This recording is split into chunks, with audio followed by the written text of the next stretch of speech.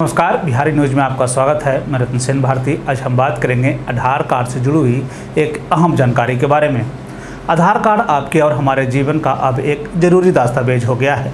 आधार card का इस्तेमाल हमारे दैनिक जीवन में कई बार होता है, चाहे वह सरकारी कार्य हो या फिर उसका इस्तेमाल आप किसी गैर सरकारी कार्य के रूप में आधार का इस्तेमाल करते हों।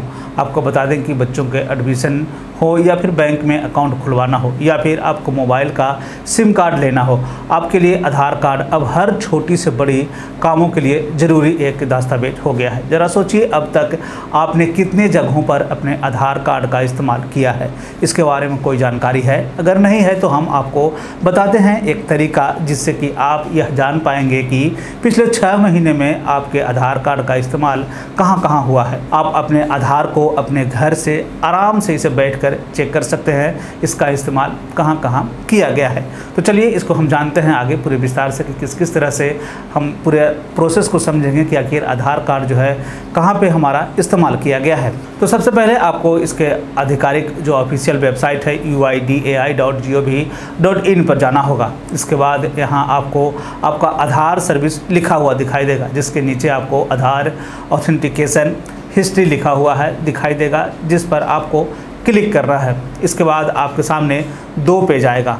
उसमें आपके आधार नंबर और सिक्योरिटी कोड डालना होगा। इसके बाद आप सेंड ओटीपी पर बटन दबाएँगे। इसके बाद आपके रजिस्टर्ड मोबाइल नंबर पर वेरिफिकेशन के लिए ओटीपी आएगा। आपको ओटीपी सबमिट करने के बाद उस पर क्लिक करना है।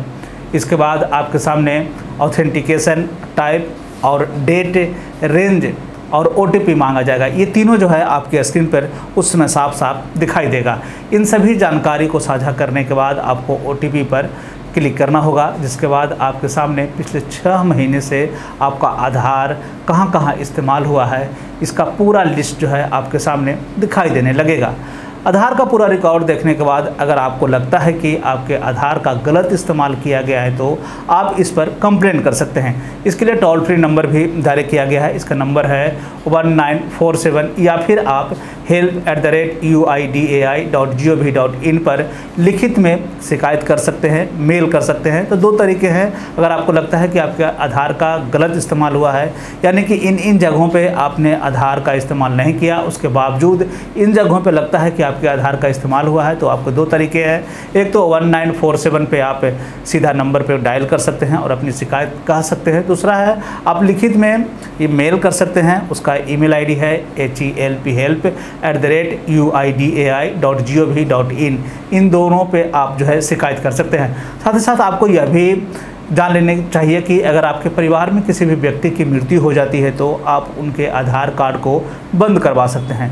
साथ ही अगर उस व्यक्ति के नाम से आधार से जुड़ी हुई किसी सरकारी योजना का सब्सिडी या फिर लाभ उठा रहे हैं तो संबंधित विभाग को व्यक्ति की मौत की जानकारी देनी होगी।